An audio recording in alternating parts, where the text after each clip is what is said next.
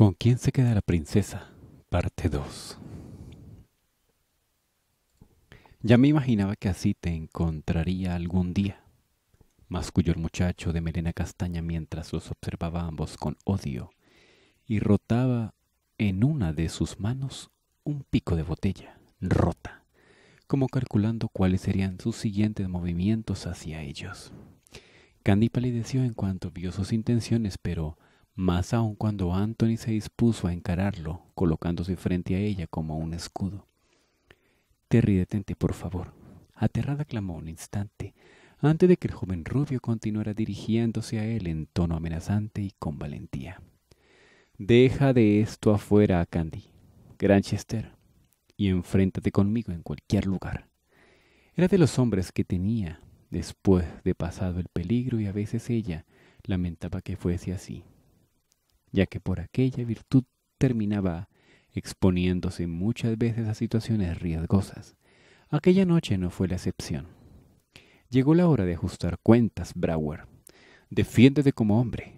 Terry le increpó atreviéndose a avanzar blandiendo la improvisada arma y un momento después, cuando intentó abalanzársele para iniciar el combate, Anthony en una veloz reacción le esquivó, para luego conseguir derribarlo, emprendiendo la respuesta. Logró así, con éxito, sostener la muñeca, doblegarlo, en los iniciales segundos hasta hacerle soltar la media botella algo que solo sirvió para incrementar la ira de Terry al verse desarmado. Candy gritó de pavor, rogándoles que se detuvieran, mas ambos jóvenes se enfrascaron entonces en una furiosa contienda en la que se asemejaban a dos fieras, luchando por supervivencia dentro de su hábitat. Golpes iban y venían, puñetazos directo a las caras o estómagos, y cuando ella todavía sin superar su impresión entendió que no le iban a hacer caso, comenzó de inmediato a solicitar ayuda de los alrededores. Los guardias del hotel fueron los primeros en notar que algo ocurría debido a sus gritos y a acudir al llamado, y encontrando de inmediato a los dos contrincantes peleando en el suelo y logrando ver además, con estupefacción al igual que ella, que algo plateado brillaba en la mano de uno de ellos, una navaja que acababa de sacar Terry y con la que intentaba sin consideración por todos los medios, herir a Anthony. A Candy se le congeló la sangre en las venas mientras, con un sudor frío incapaz de poder apartar la vista, era testigo de cómo Anthony, luchando por no dejarse lastimar, forcejeaba tratando de quitarle a Terry el arma. La gente que en un principio quiso lanzarse a separarlos al percatarse del arma blanca, se detuvieron pensándolo dos veces. Pero por suerte, el sonido de una sirena policial inundó entonces la noche al doblar una patrulla por la esquina, a la que alguien con probabilidad personal o huéspedes también del hotel, que era el edificio más cercano, llamaran. No obstante, la dura pelea continuó unos metros más, que a Candy le parecieron eternos en medio de su angustia, y la de todos los presentes hasta que los oficiales llegaran e intervinieran, y como era de esperarse, no salió herido.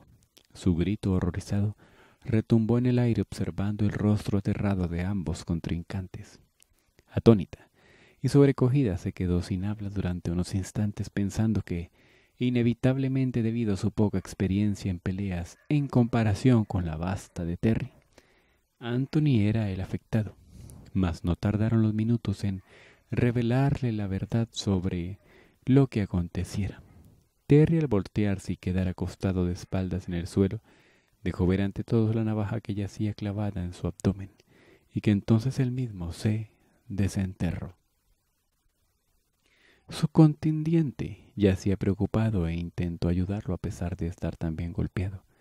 Solo que en ese rato entró una escena la policía y viendo con claridad el resultado de lo acontecido, procedieron a detener sin miramientos a Anthony. Sujetándolo, por debajo de los brazos para arrastrarlo hacia el coche patrulla, en medio de un montón de curiosos que ya comenzaban a aglomerarse y los pedidos del resto de oficiales para que alguien facilitara otro automóvil para trasladar al herido al hospital más cercano, algo que del mismo hotel se encargaron de proveer. ¿Pero qué hacen? Por favor, no peleen.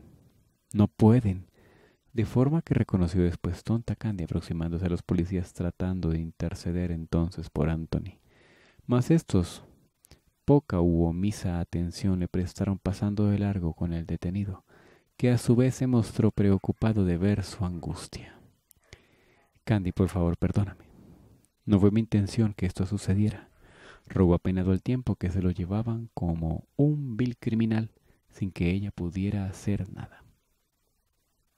Con impotencia permaneció por tanto parada en el mismo lugar con las manos en la cintura y su equipaje en el piso a un lado mientras veía a la patrulla partir. Todavía nerviosa, pero igual triste e indignada, y reaccionó solo cuando, con súplicas, el pasado de copas de Terry comenzó a llamarla de forma lastimera, necesitando que se quedara a su lado en el trayecto al hospital. Ante lo que, debido al cariño que innegablemente le tenía, aunque en esos momentos se encontrara furiosa con él, y reconociera que bien merecido tenía lo que le sucedía por su deplorable comportamiento, tuvo que acceder. Cuando Terry se despertó horas después en el hospital, ya pasada la medianoche luego de ser intervenido quirúrgicamente debido a su sutura de los puntos de la herida, su aturdimiento inicial al caer en cuenta de dónde se encontraba dio paso enseguida a la angustia, por conocer si estaba también presente en el lugar la única persona en el mundo que en realidad le interesaba. Candy, exclamó entonces con alivio al verla apoltronada en un sillón que había en la habitación. En tanto intentaba incorporarse en la cama de inmediato, una mala idea imprudente que provocó que se estremeciera de dolor.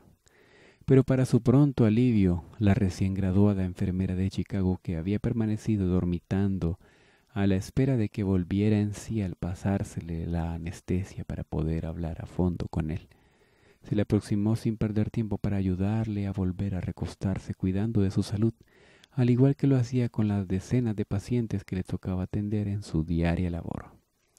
Shh, por favor, ten cuidado, le recomendó en voz baja para que estuviese calmado. Si haces movimientos bruscos provocarás que se te abran los puntos. Terry acató lo que decía, pero no por eso soltó su muñeca ni aminoró la desesperación en su proceder. Candy, por favor, tenemos que hablar. No dejemos morir lo que tenemos sin antes conversarlo bien, pidió, ante lo que ella se armó de valor para tratar de nuevo aquel tema de su engaño, que tanto le dolía y molestias le traía, pues sabía que era necesario. ¿Por qué no me contaste lo de Susana? Empezó de tal forma por abordarlo ella misma. El rebelde guardó silencio durante unos segundos, recapacitando en su falta. Iba a hacerlo cuando estuviera listo. Me estaba preparando para ello, pero no contaba con que la prensa iba a hacer pública la noticia. Completa, tan rápido. No me malentiendas, pero entonces estaba tan confundido de que eras la última persona a la que hubiera querido ver, por intentar protegerte de todo este problema. No quería que sufrieras, confesó. Pues hubiese sido mil veces mejor enterarme por tu propia pluma que por las publicaciones de los diarios, le hizo ver ella haciendo referencia a su continua correspondencia. Solo contribuyó a que el engaño fuese más grande y me transformara en el hazme reír de mis conocidos. Que hablar tuvo que bajar la mirada. Puesto que era difícil platicarlo, pero sabía que, una vez lo expusiera, no le mortificaría tanto después. Lo siento de verdad, Candy. Por favor, perdóname. Por todo, repitió él por enésima vez, arrepentido de corazón aunque supiese que ya era demasiado tarde y que había llegado de más con sus temperamentales acciones muy lejos. Aquella vez tal como hoy me dejé llevar por los celos. No supe bien lo que hacía. Me comporto como un animal a veces y lo admito. Sobre todo cuando me doy cuenta que estoy perdiendo aún en medio de su notorio dolor tanto físico como del alma, le explico. Te ruego por lo tanto que me perdones, por eso y por lo de esta noche. Sé que mereces estar con alguien mejor que yo. Al final agregó, reconociendo que, aunque ella disculpara sus agravios con su gran bondad, no era justo retenerla a su lado porque no la merecía en realidad. No puedo atra... No puedo atarte a mí, aunque quisiera porque solo deseo que seas feliz. Y no lo conseguirás a mi lado. Creo que ese es el significado del verdadero amor. Desear siempre lo mejor para el otro aunque no sea contigo. Yo lo aprendí gracias a ti. A esas alturas estaba llorando y notar aquello le conmovió tanto a Candy, que le hizo llorar también. Sin perder tiempo, de tal modo se acercó a él para darle un tierno beso en la frente. Luego de despejarle el cabello del rostro. Yo también te desearé lo mejor siempre, a donde quiera que vaya, y te tendré en mis oraciones para que alcances la felicidad que tanto anhelas. Tenlo por seguro acordando así en definitiva que lo mejor era continuar con sus caminos separados, se levantó tomando su equipaje para dirigirse a la puerta.